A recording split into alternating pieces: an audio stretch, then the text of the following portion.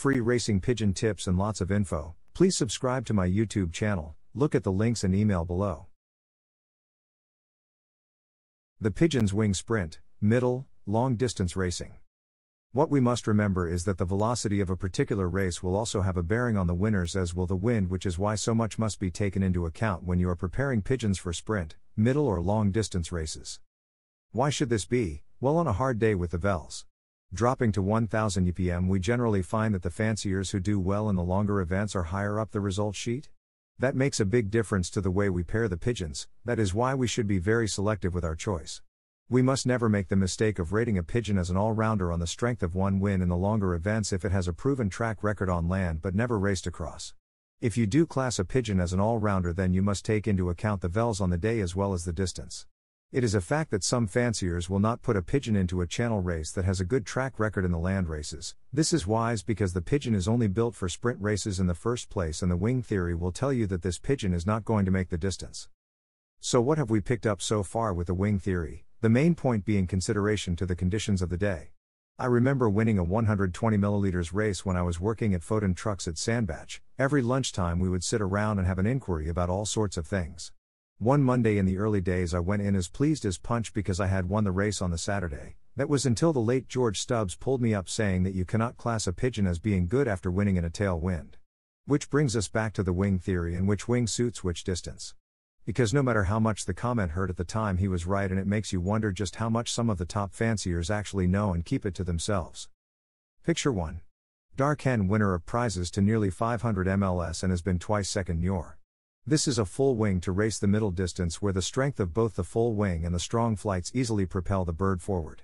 Take note of the full back wing and also the width of the flights right through the wing. The end flights become slightly shorter for the middle distance pigeon. Picture 2 is a sprint wing and when the pigeon was tested at 300 MLS he took rather longer to come home and has not seen a channel race since. However, when you send a pigeon across the water it that is not suited to ant distance it does take it out of the bird for future sprint events. But for the sprint races this cock gained positions including second fed. On my travels I have found that this is generally the type of wing that picks up speed. If you look at the wing of the sparrowhawk, you will notice that the back wing is very small and even the primary flights taper off much more quickly than most other members of the bird family. Take note that the primary flights become proportionally longer for the sprint pigeon compared to the middle and long distance birds. Picture 3 This is a wing that will put any bird up amongst the winners up to 400 to 450 MLS but will hen drop away. This cock has won prizes in club, fed, and classic up to 410 MLS.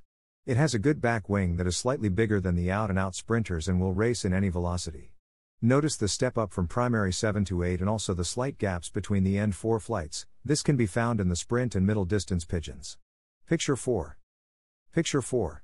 The wing of the out and out distance pigeon, which has a complete full back wing to make flight that much easier for the bird to stay in the air for long periods of time. This type of pigeon does not have to put in the same number of wing beats to cover the distance when they have a long journey. If you look at the birds that soar high above in search of food, such as the eagles, vultures, and buzzards, etc., they all have big back wings, which effectively keeps their use of energy to a minimum. When you look at the birds that fly long distances in migration, they all have big back wings in comparison to their body. In the pigeon world, we have fanciers who have a preference to distance racing and they breed for that purpose, which leads to this type of full wing. Pigeons, like birds that are migrating, know that geologically they have a big task ahead of them with the distance that they have to cover, and therefore they do not put all the energy into the faster wing beat. The problem that the pigeon has with flight is that it is a high cost of energy, which is why the sprinter who puts in the faster wing beats cannot cover the longer distance races.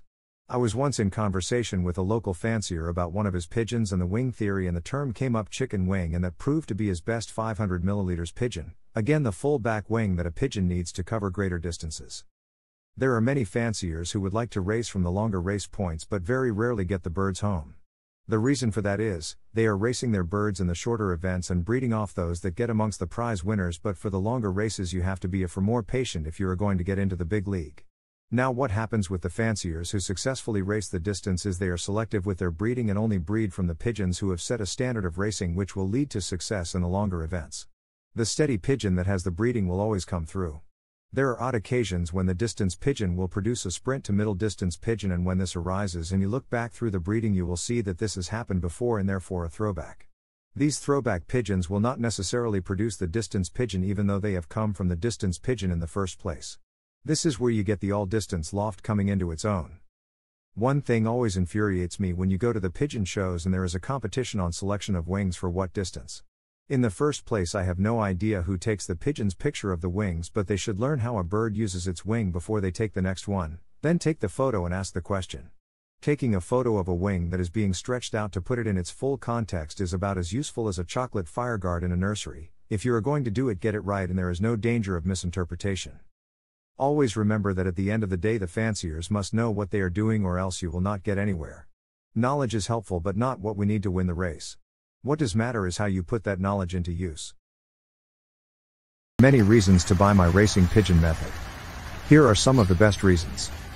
You will get excellent results. It's a very simple system to use. It's affordable. I have had over 400 first prize winners. It's adaptable to any situation. You can use it with any racing method, natural, widowhood, young birds, it's a very effective method. There is no need to spend a lot of money on fancy pigeon products, it's a reliable system and it is foolproof to use. Professional athletes, race horses, take the same products, there is science behind this not just hearsay, it is all to do with red blood cells and oxygen in the blood, without that a pigeon will not race well, or an athlete will not win a race, if he has low oxygen in his blood, the above is fact and is 100% science. There are a few things you can do to improve your chances of winning at racing pigeons. One of the most important things is to learn as much as you can about the sport. You'll need to know the different types of pigeons, how to train them, and how to race them. Another key factor is practice. You'll need to be able to fly your pigeons competently in order to win races. And, of course, you'll need to have the funds to invest in racing pigeons and other racing equipment.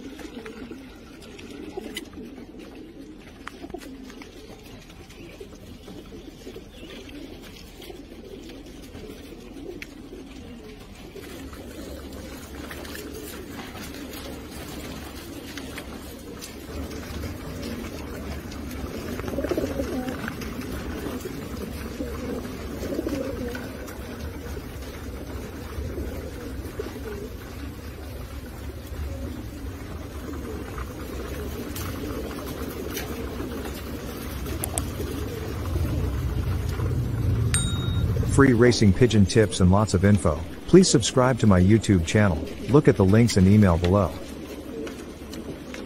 There are many reasons to buy my racing pigeon method.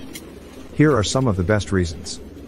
You will get excellent results, it's a very simple system to use, it's affordable, I have had over 400 first prize winners, it's adaptable to any situation. You can use it with any racing method, natural, widowhood, young birds, it's a very effective method. There is no need to spend a lot of money on fancy pigeon products, it's a reliable system and it is foolproof to use. Professional athletes, race horses, take the same products, there is science behind this not just hearsay, it is all to do with red blood cells and oxygen in the blood, without that a pigeon will not race well, or an athlete will not win a race, if he has low oxygen in his blood, the above is fact and is 100% science. There are a few things you can do to improve your chances of winning at racing pigeons. One of the most important things is to learn as much as you can about the sport. You'll need to know the different types of pigeons, how to train them, and how to race them. Another key factor is practice. You'll need to be able to fly your pigeons competently in order to win races. And, of course, you'll need to have the funds to invest in racing pigeons and other racing equipment.